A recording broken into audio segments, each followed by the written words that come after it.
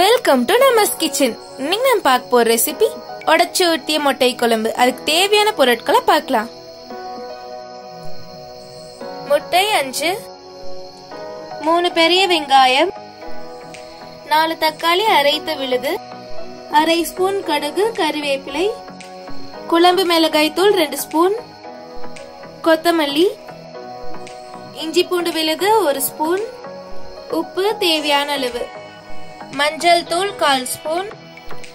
அரை மூடி தேங்காய் கால் ஸ்பூன் சோம்பு கால் ஸ்பூன் கசகசா ஒரு துண்டு பட்டை ரெண்டு கிராம்பு அரைத்த விழுது சமையல் எண்ணெய் தேவையான அளவு.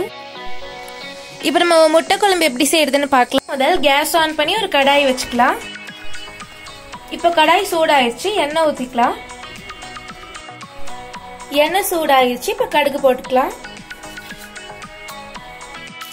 கடுகு பொரிஞ்சிருச்சு. இப்போ கருவேப்பிலை சேர்த்துக்கலாம். இப்போ வெங்காயம் சேர்த்துக்கலாம். வெங்காயம் நல்லா வதங்கிருச்சு. இப்போ இஞ்சி பூண்டு விழுந்து சேர்த்துக்கலாம். இப்போ தக்காளி சேர்த்து பச்சை வாசனை வரைக்கும் நல்லா வதக்கிக்கோங்க. இப்போ இதில் மஞ்சள் தூள் சேர்த்துக்கலாம். இப்போ குழம்பு மிளகாய் தூள் சேர்த்துக்கலாம். இப்போ இதில் தேவையான அளவு உப்பு சேர்த்துக்கலாம். இப்போ இதில் தேங்காய் விழுது சேர்த்து பத்து நிமிஷம் நல்லா கொதிக்க விடலாம் இப்போ எண்ணெய் நல்லா பிரிஞ்சு வந்து தக்காளி நல்லா வதங்கிடுச்சு இப்போ ஒரு கிளாஸ் தண்ணி ஊற்றிக்கலாம்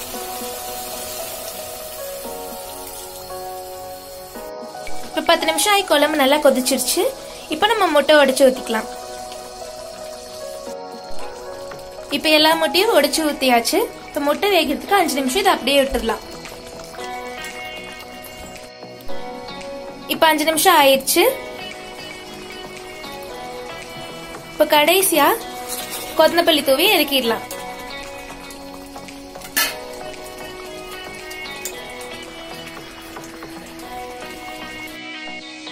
இப்ப நம்மளோட சுவையான டிஃப்ரெண்டான முட்டை குழம்பு ரெடி ஆயிடுச்சு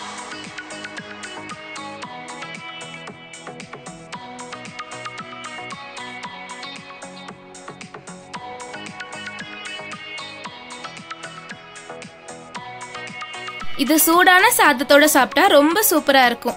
இந்த ரெசிபி வீடியோ உங்களுக்கு பிடிச்சிருந்தா லைக் பண்ணுங்க ஷேர் பண்ணுங்க கமெண்ட் பண்ணுங்க. மறக்காம நமஸ் கிச்சன் சேனலை சப்ஸ்கிரைப் பண்ணுங்க. அதோட பெல் பட்டனையும் கிளிக் பண்ணுங்க.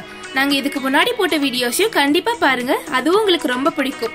தேங்க்யூ ஃபார் வாட்சிங் நமஸ் கிச்சன்